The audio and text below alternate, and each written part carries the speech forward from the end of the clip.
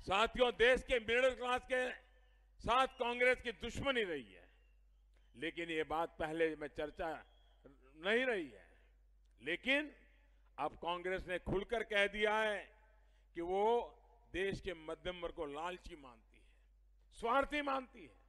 उनका मैनिफेस्टो देखिए, कांग्रेस का संकल्प ये डिंडोरा पत्र, ढकोसला पत्र, पचास पन्नों का उनका ढकोसला पत्र है।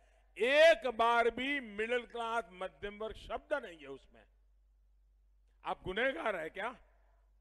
आप मुझे बताइए, आप गुनेगार है क्या? इस देश ने आपके लिए सोचना चाहिए नहीं सोचना चाहिए? राजनीतिक दलों ने आपके लिए सोचना चाहिए नहीं सोचना चाहिए? आपके सपनों पर सोचना चाहिए नहीं सोचना चाहिए? इनको परवाह नहीं है।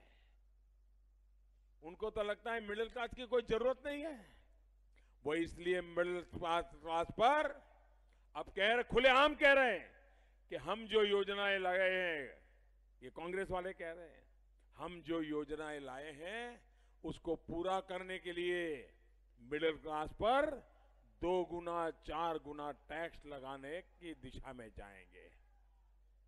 अगर मिडिल क्लास खत्म हो जाएगा तो ये देश कभी आगे नहीं बढ़ेगा, लिख करके रखो। देश आगे बढ़ रहा है ये मध्यम वर्ग के लोगों की मेहनत से बढ़ रहा है। मिडिल क्लास से कांग्रेस की दुश्मनी है। इसलिए जब जब कांग्रेस आती है, आपने देखा होगा, जब जब कांग्रेस आती है, महँगाई लेकर के आती है। कांग्रेस के शासन में 10 प्रतिशत की दर से महँगाई बढ़ रही थी, जिसको हमने 4 प्रतिशत से नीचे रखा है। इतना ही नहीं, पीएम आवास योजना के तहत पहली बार मिडिल क्लास के लिए होम लोन में छूट दी। आज मिडिल क्लास को होम लोन पर पाँच से छह लाख रुपए तक की बचत हो रही है। एजुकेशन लोन पर।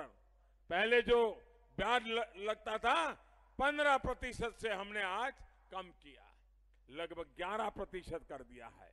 इतना ही नहीं, दवाइयाँ सस्ती की गई हैं।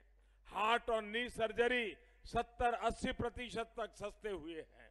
यानी स्वास्थ्य पर होने वाले खर्च बहुत कम हुआ है।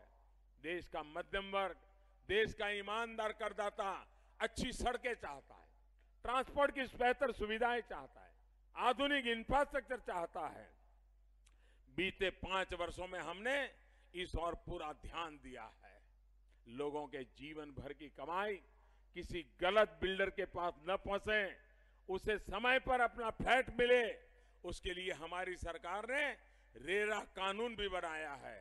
आज देश के तीस हज़ार से ज़्यादा प्रोजेक्ट इसमें रजिस्टर्ड हुए हैं।